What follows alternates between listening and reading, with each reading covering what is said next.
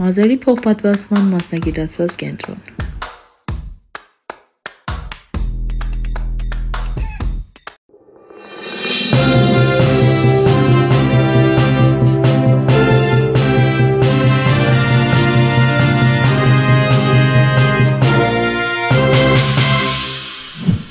Ողջույն, դուք դիտում եք առաջին լրատվականը, մենք շարունակում ենք ձեզ ներկայացնել արտահերթ ռեժիմով Երևանի հավաքանու ընտրությունների ընթացքը, ինչպես դա ձեզ ներկայացնում ենք բարբերաբար ամենժամյա լրատվությամբ, այնպես էլ բանախոսների հետ մեր զրույցներով եւ այս պահին իմ զրուցակիցը քաղաքական վերլուծաբան Բորիս Նավասարդյանն է։ Ողջույն, պարոն Նավասարդյան, բնականաբար առաջին հարցը արդեն հասցրել եք կատարել քաղաքացիական պարտքը ձեր Բարև ձեզ, անմիջապես մեր զրույցից հետո կկատարենք։ Պարոն Նավասարդյան, սկսենք նրանից, որ ավականու ընտրություններին մասնակցությունը ժամը 14-ի դրությամբ 114759 քաղաքացի է, 2018 թվականին համեմատության համար 201268 քաղաքացի էր արդեն այդ ժամի դրությամբ ընտրել։ Ինչով է պայմանավորված ընտրությունների նման գրեթե շեշտակի մասնակցայնությունը, անկումը։ Ես կարծում եմ 2018 թվականին քաղաքացիական քաղաքական ակտիվությունը մեր բնակիչների Երևանի շատ ավելի մեծ էր եւ ողջավորությունը ընթացող քաղաքական զարգացումների նկատմամբ նույնպես բավականին բարձր էր մարդիկ հասկանում են, որ իրենց մասնակցությամբ ընտրություններում նրանք կարող են իրական փոփոխություններ մտցրել մեր կյանքում։ Այսօր նման մտադրություններ կարծում շատ ավելի քիչ մարդ ունի եւ ավելի շատ ներքաղաքական պայքարի դրսևորումների ներքո է գտնվում ամեն մեկի ընտրությունը եւ մասնակցությունը քվեարկության եւ քանի որ շատ երևանցիներ այդ առումով հստակ կողմնորոշում չունեն, նաև խուսափում են գնալ ընտրատեղամասեր։ Այսինքն ընդհանուր կա որոշակի տրամադրվածություն, որ այսպես ասած բան չի փոխվելու կամ ապատիկ վերաբերմունք, հա, այս գործընթացներին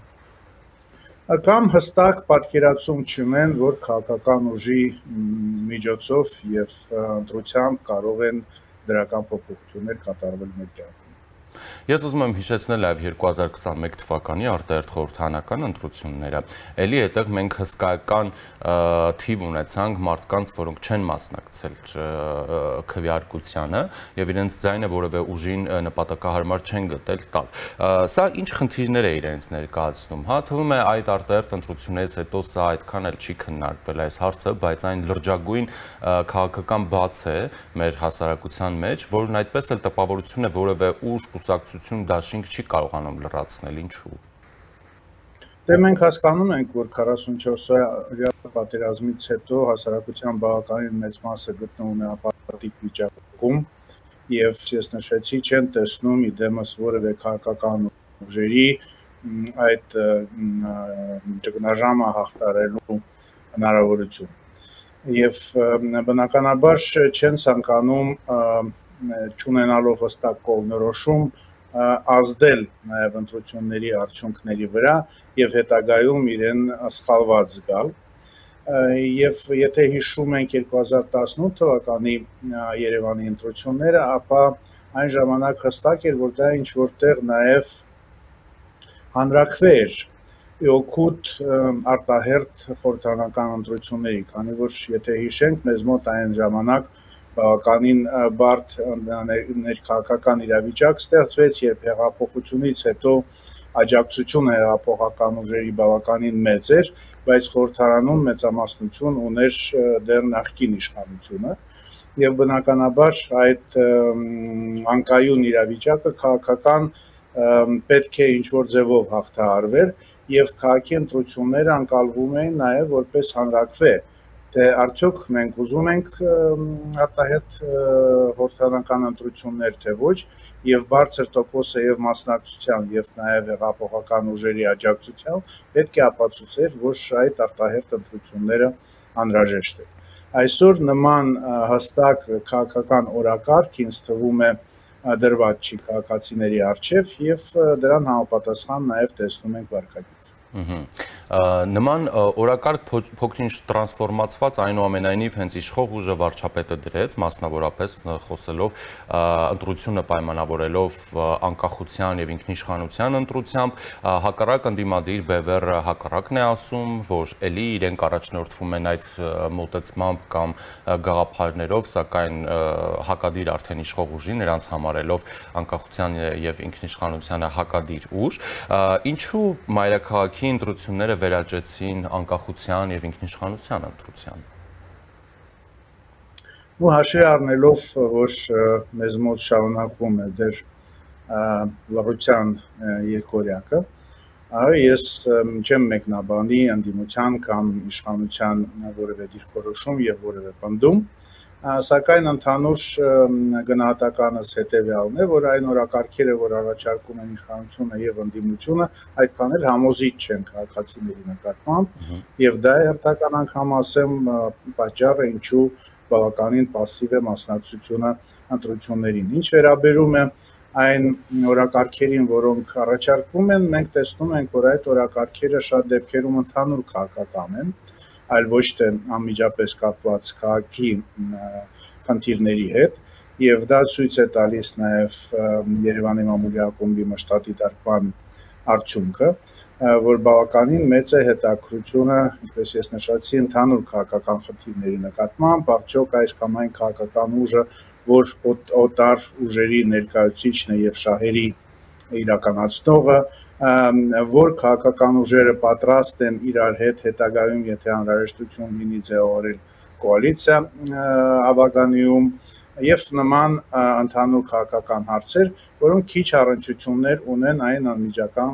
խնդիրների հետ, որոնք պետք է լուծվեն քաղաքապետարանի միջոցով։ Այսինքն մենք քաղաքական ընտրություն ենք այսօր անում, ոչ թե քաղաքային, հա մեծամասամբ այո ես կարծում եմ որ եւ ելույթները քաղաքական գործիչների եւ լրատվամիջոցների բովանդակությունը հուշում է որ դա այդպես է որ ընտրությունը ավելի շատ քաղաքական է թեև ամեն դեպքում այն գաղափարները, որոնք հնչել են տարբեր քաղաքական ուժերի առաջնորդները եւ ներկայացուցիչները, միգուցե իրենց մեջ հետարքիր գաղափարներ պարունակում են, բայց շատ երևանցիներին ավելի շատ հետաքրում է թե ինչ հետագա քաղաքական գործընթաց մենք կարող ենք տեսնել Երևանում եւ ամբողջությամբ Հայաստանում Այս ընթացքում նաև հենց այսօր տարբեր անձանց կողմից հանդիպում ենք կոչերի, այսպես ասած 2018 թվականի մայրաքաղաքի ավականու ընտրության տրամաբանության մեջ, որ գնացեք ընտրեք ընդդիմության որևէ ներկայացուցիչ, որովհետև իշխող ուժը այսպես թե այնպես վերցնելու է համայնքի կառավարումը, որ เป զի նրանք ունենան, այսպես ասած, որակյալ ընդդիմություն։ Նման կոչեր այսօր էլ են հնչում, հնչում է նաև 2000 2018-ին հնչել են համապետական 18-ից հետո գրեթե բոլոր ընտրությունների ժամանակ, հա։ Կարծում եք, որ ընտրության արդյունքները կանխորոշված են։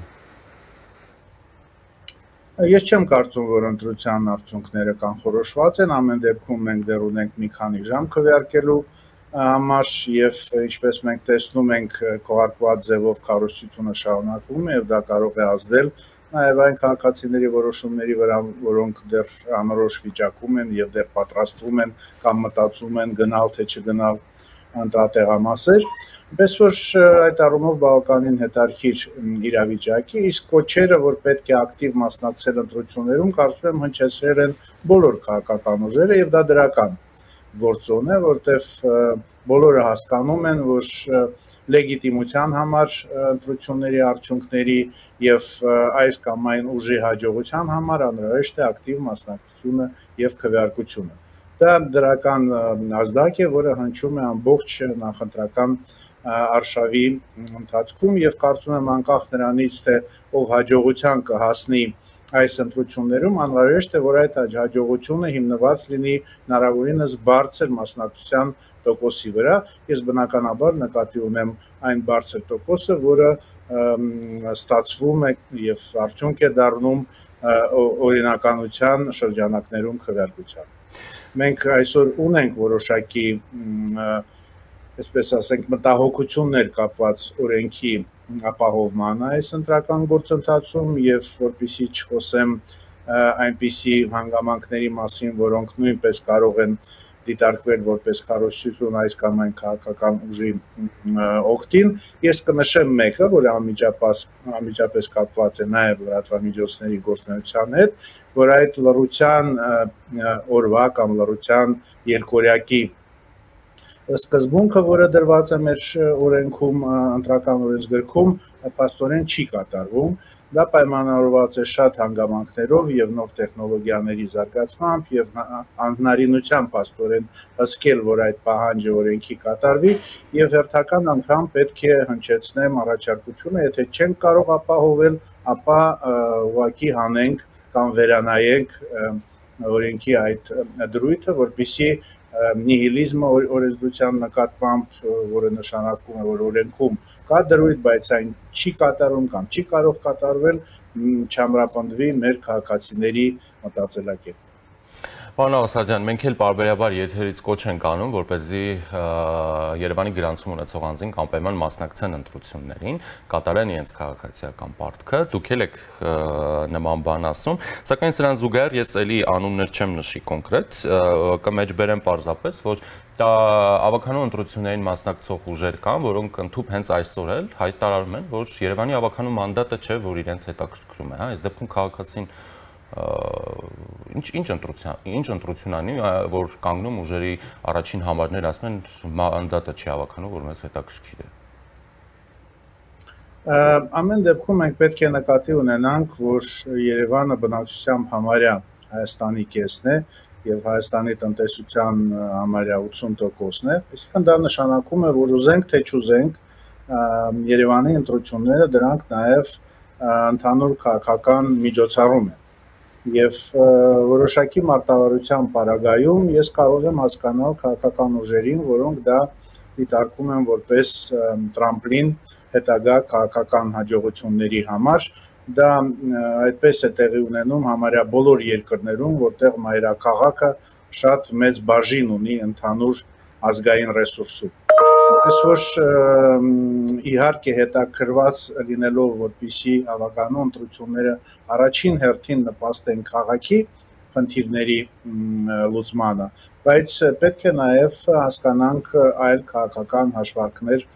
որոնց մասին մենք լսում ենք այս նախընտրական փուլում։ Մանրաքաղաքի ընտրությունները, եթե փորձենք նաև համեմատել, հա, նախորդ տարիների հետ, մանրաքաղաքի ընտրությունները մեզ համար լինեն, արդյունքները լինելու են մեզ համար ցուցիչ ապագա համապետական ընտրությունների համար։ Եվ ընդհանրապես այս կառավարման քաղաքական ուժի կշռի վերաբերյալ եւ հետագա պլանների հաշվարկների համար, պես որ դա տարբեր ուզենք թե չուզենք դա տարբեր քաղաքական բաղադրիչներ ունի եւ չի կարող դիտարկվել միայն որպես ավականիում տեղ զբաղեցնելու կամ քաղաքապետի պաշտոնը ստանալու համատեքստը։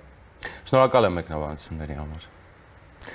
հաջողություն։ Հարգելի հերոստատիտողներ, զրուցում էի քաղաքական վերլուծաբան Բորիս Նավասարդյանի հետ։ Դուք շարունակեք հետևել առաջինի աշխատանքին, ամեն ժամագլխին մենք նոր թարմ տեղեկատվությամբ ձեզ ներկայացնում ենք Երևանի ավականու ընտրությունների ընթացքը եւ բարբերաբար ունենում ուղիղ տեսակապեր։ Thank you